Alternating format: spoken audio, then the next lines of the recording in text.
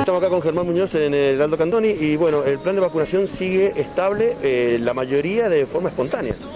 Hola, buen día. Eh, así es, eh, se- la mayoría de las vacunas están de forma espontánea. Se siguen dando turnos como eh, recordatorio, igual para todas las personas que han cumplido más de cuatro meses desde su segunda dosis, pero igual eh, tenemos eh, una alta concurrencia eh, a demanda sin ningún turno o turnos atrasados.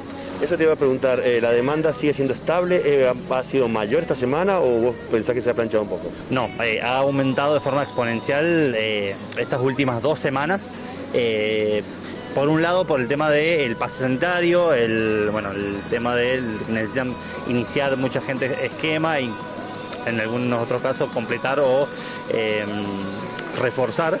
Y pero eh, yo creo que el- lo que más vemos acá es preocupación por el aumento de casos, así que por eso se está eh, demandando o sea, mucho más el tema de la, más que nada la tercera dosis. En el caso de los chicos mayores de 3 años, ¿vos ves que están viniendo asiduamente o, o que falta un poquito más de campaña con concientización? Están viniendo, es por ahí es el grupo que menos viene, el, el que menos concurre, pero eh, sí, están viniendo muchos chicos con para primer dosis, al igual que eh, muchos adultos mayores de 18 años para primer dosis a, bueno, a más de un año del inicio de la vacunación. Recordemos los horarios entonces acá en el Cantoni, a partir de las 8 de la mañana ustedes están, ¿hasta qué hora? Sí, ya estamos abriendo, bueno, a partir de las 7.30, empezar a abrir un poco más temprano por el tema del calor, bueno, que la gente ya está de más, más temprano, así que de 7.30 hasta las 18.30 más o menos estamos eh, abiertos para, el- para la gente, de lunes a viernes y eh, fin de semana eh, rotativo. Hacemos un fin de semana el sábado, otro fin de semana el domingo, igual todas estas...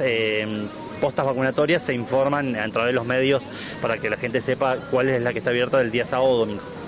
Pregunta fuera ya para finalizar, este, mm, con respecto al, al personal, eh, ¿está eh, eh, activado el personal, por supuesto, pero hace falta más personal o está bien con lo que hoy por hoy ha sido esta, esta creciente eh, necesidad de vacunarse?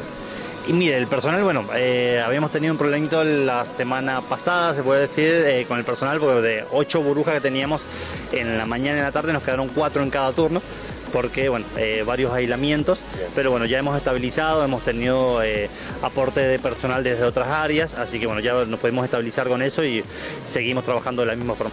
Muchas gracias. Gracias a ustedes.